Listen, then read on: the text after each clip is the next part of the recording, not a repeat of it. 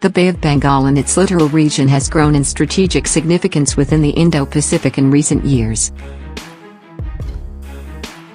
Cooperation between countries in the region has become important, especially after SAARC's performance and its role in strengthening regional cooperation was questioned. China's expansionist moves and Pakistan's continuing support to terrorism made it difficult for India and countries in the Indo-Pacific to align with either of them.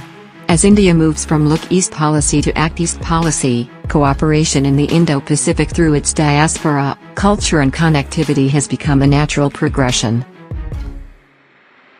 BIMSTEC, with India, Thailand, Myanmar, Nepal, Bangladesh, Sri Lanka and Bhutan as members seeks to foster regional and economic cooperation among the members. The BIMSTEC region is home to around 1.5 billion people which constitute around 22% of the global population with a combined GDP of $2.7 trillion. In the last five years, BIMSTEC member states have been able to sustain an average 6.5% economic growth trajectory, despite global financial meltdown.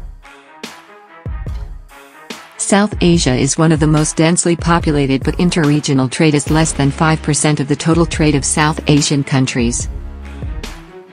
Apart from boosting trade ties, combating terrorism, transnational organized crime and illicit drug trafficking is on the agenda of BIMSTEC. A grid interconnection, signed during the BIMSTEC summit in Kathmandu, Nepal, in 2018, aims to promote an optimal power transmission among the member countries. The member countries stand to gain in areas of tourism, digital connectivity, energy connectivity and humanitarian assistance in disaster relief. Further, BIMSTEC has become a bridge between SAARC and ASEAN, resulting in a holistic approach to the issues faced by the member countries.